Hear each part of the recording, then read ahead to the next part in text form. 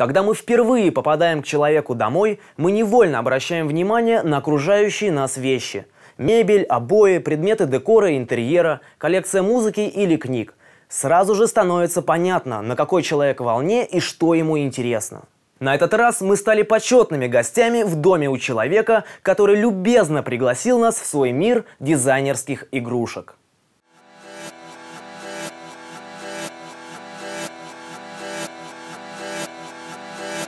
Сегодня в гостях у меня. Здравствуйте. Можно себе примерно представить, что я за человек. У меня игра разума, да, какая-то происходит вот с этими самыми игрушками. Они у меня стоят, иногда они меняют места, меняются местами, иногда я их беру с собой куда-нибудь на дачу или в город или куда-то. Очень приятно, допустим, взять с собой какую-нибудь маленькую штучку и сидя в кафе, а, когда там, допустим, как-то там неуютно или там а, какие-то люди вокруг неприятные, или там в помещении, где курят, я не курю, да, вот мне неприятно. Вот я могу взять эту штучку, поставить ее где-то рядом там на блюдечко или там дать в руки ему какой-нибудь э, кубик сахара, и вот он будет со мной вместе, да, как-то заполнять пространство и э, помогать мне немножко переживать какие-то неприятные минуты, если они бывают.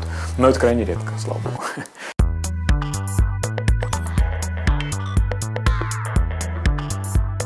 Япония – это самый большой рынок игрушек в мире вообще, да, несмотря на то, что их живет там все на все 150 миллионов человек. В Гонконге начало развиваться бурно достаточно а, вот это вот направление, связанное с а, игрушками для взрослых, да, с игрушками, которые коллекционировали разные люди, которые были в теме там в то время там всяких хип-хоп движений, там современного вот, предметного дизайна, потому что они экспериментировали там совсем с колонками, с э, какими-то мышками, с флешками, там совсем чем угодно.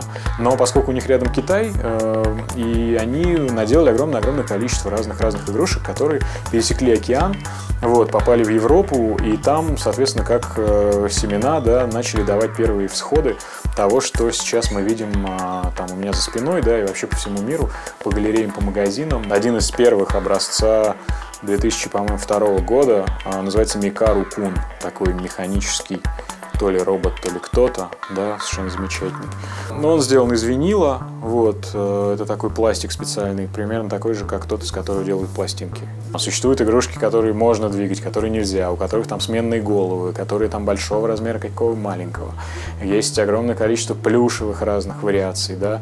Одно из самых первых э, таких японских экспериментов э, 2001 год э, была рождена такая платформа, которая называется Кубрик вот эта самая японская фирма Medicom, они придумали такую платформу, она очень похожа на Lego, но это совсем-совсем не Lego, потому что по качеству это там абсолютно high-end кубрик. Он состоит из э, 9 составных частей, 9 составных частей, вот. И брик почему? То есть 9 составных элементов. Куб и японский 9. Единая скульптурная форма, которую разные художники раскрашивают по-своему. То есть вот есть такой человек Фрэнк Козик, да, я совсем не люблю то, что он делает, но вот это я считаю одно из его лучших вообще творений. Называется Хумберт такие. Это стопроцентный, то есть вот они 4 здесь ставят. Еще есть тысячепроцентный персонаж японской компании Devil Robots. Сделал его все та же Медиком, о которой я говорил. Они сделали эскиз, сделали скульптурное изображение, а, его выпустили вот каким-то небольшим тиражом его его брата. Вот, они на самом деле представляют собой вот такой комплект. В этом году вышел вот такой монгольский лев-захватчик у него вместо одной руки протез а, с мечом, а у него защита в виде человеческого черепа. Вот, он сделан из суперкачественного японского винила э, и придумал его из Нью-Йорка такой Лямур Суприм. В основном идея в том, что э, персонажи должны быть довольно, довольно-таки простыми. Это позволяет недорого их производить, во-первых. Вот, а во-вторых, чем проще персонаж, тем э, честнее и тем э, и тем не прикрытие концепция, которая за ним стоит. То есть можно навертеть, навертеть деталей, да, но смысл при этом потеряется. А можно взять и сделать у себя, вот как японский человек Хироши Йоши на кухне у себя сделал вот такую пиору. Ни одного человека вообще не оставляет равнодушным, когда он ее видит, потому что совершенно очаровательное существо.